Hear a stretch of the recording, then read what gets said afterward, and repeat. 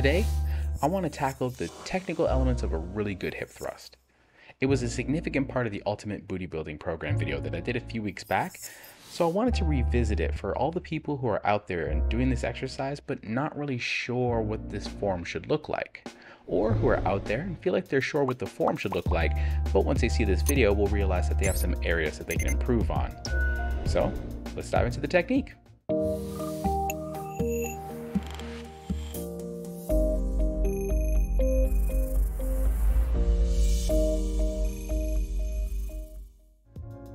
The hip thrust is a fantastic way to work the glutes maximally, and as such, is a great exercise for those who want to build up their bum.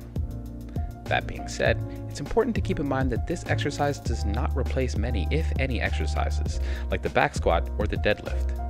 These exercises have a whole other purpose and make use of other muscle groups and have challenging elements the hip thrust simply does not.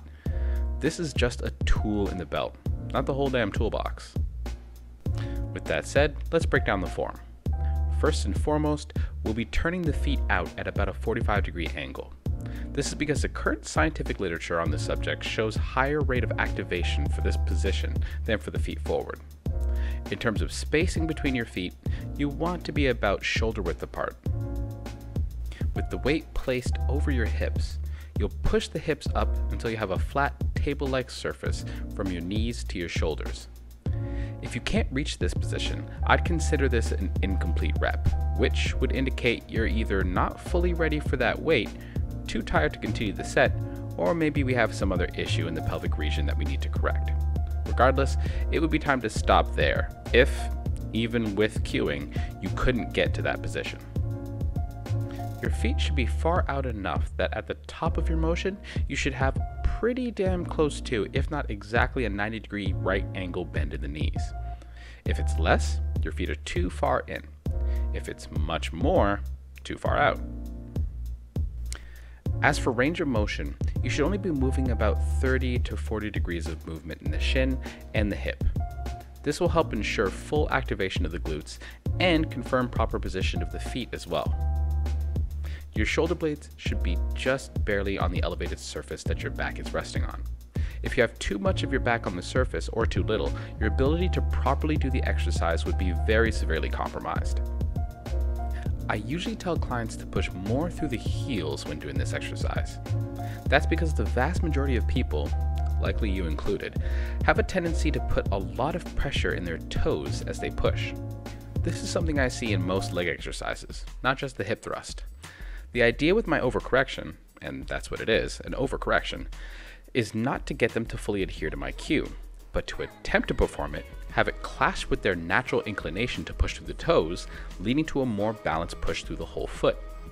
Sometimes this backfires if they have amazing proprioception, but those cases are rare, and I'll simply correct that in the moment.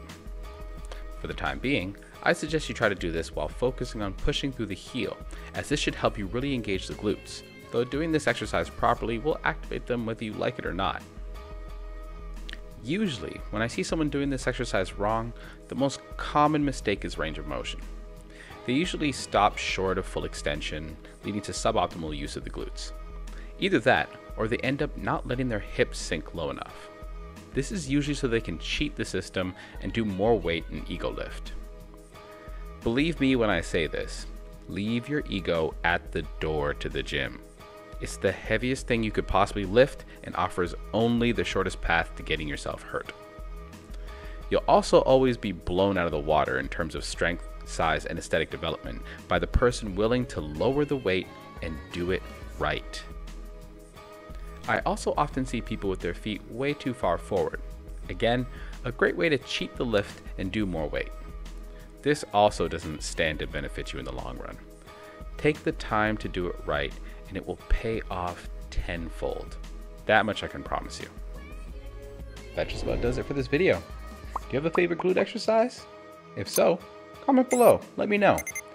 And if you have any suggestions for an exercise to tackle the next time I do a TechniqueTube, be sure to throw it into the comments and let me know, and I'll make sure to add it to the list. As a final note, I've made a bit of a decision when it comes to the booty building Google Sheet guide that I made that's worth over $500. If you comment on the booty building video that I linked in the card above, and you send me a DM with your email address so I can add you to the actual Google Sheet, I'll give it to you for free. But that only lasts until December 24th, 2021. After that, I'm locking it. I'm thinking of giving people access to it if they become a Patreon member or something like that. The cost will be low, like five bucks a month. But it's not going to be free, not forever. So get it while the getting's good. If you've already commented on the video but you want access to the Google Sheet and you don't have it yet, just send me an email or a DM or something so I can get your email address and then I'll add you to it. You have some time left, but the clock is ticking. And finally, stay shining, because the galaxy can only be a bright and beautiful place if we all shine together. Peace.